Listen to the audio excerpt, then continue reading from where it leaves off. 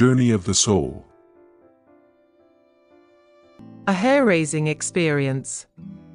Author Debbie Ross Preston. The test of courage comes when we are in the minority. Ralph W. Sackman. As an only child to two adoring parents, I grew up believing that life was good. Especially when my mom washed my long black hair. I loved it because I always got great head scratches. But on one particular day, a huge clump of my long hair fell out in my mother's hands, much to her horror. She thought she had done something terribly wrong. Little did we know this was the beginning of a nine year odyssey. Over the next six years, I lost large amounts of my hair and was always trying to shield these bald spots from the world. None of the doctors could figure out the cause. Many theories were explored allergies, vitamin deficiency, stress, lack of hormones, etc.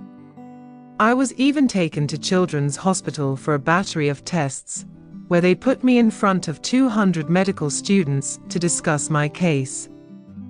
Along with the many theories explored, we also attempted numerous remedies cortisone injections into the scalp, daily scalp massages, megadose vitamins, and oils and creams.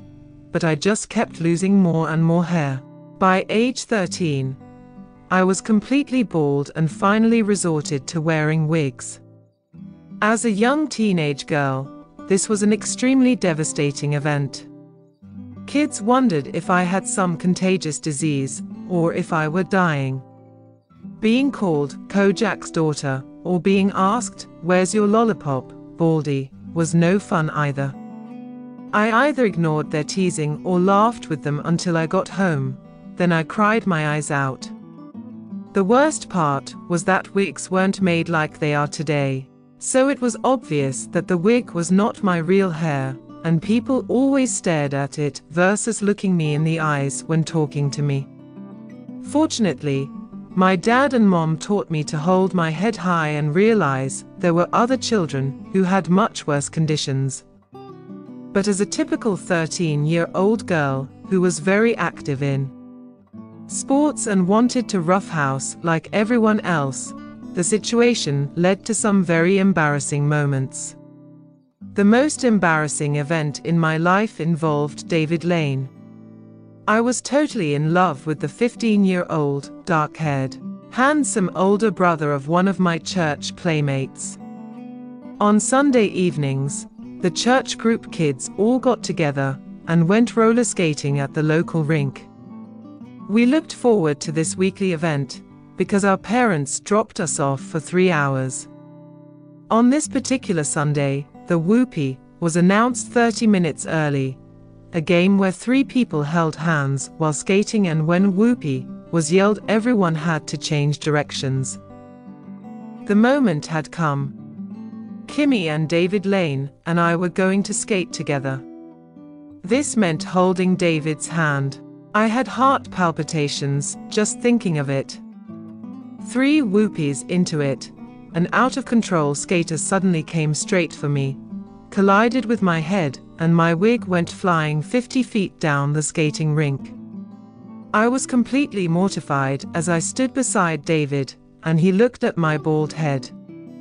The entire skating rink came to a standstill as one of my friends picked up the wig and plunked it back on my head. In her haste, she put it on backwards, so the long curls were hanging past my nose and the bangs were at my neck. What a sight! I was immediately surrounded by all my friends as they shuffled me off to the ladies' room to fix myself up. Once I was in that restroom, there was no getting me out. I didn't want to feel the stares and hear the questions, or, even worse, see David Lane's expression of revulsion. I immediately used the restroom phone and, through passionate sobs, asked my dad to come get me. To this day, Dad says one of the hardest things he has ever done was answering, No, you wash your face of tears, straighten up your hair, and go skate the rest of the night away. I was completely devastated, My dad had always been my hero. Why wouldn't he come rescue me? 30 minutes and three pleading phone calls later, the reply was the same no, you get back out there and skate. It was then, as I sat in tears on the bathroom floor, that David Lane appeared. He just skated right into the ladies' room, grabbed my hand, and asked me to come back out to skate. I wiped my face, held my head high, and skated the rest of the night away with the boy I loved. A few months later, a young doctor said I had alopecia, baldness caused by an allergy to the chemicals released by my own hair follicles. As an allergic reaction, my hair fell out.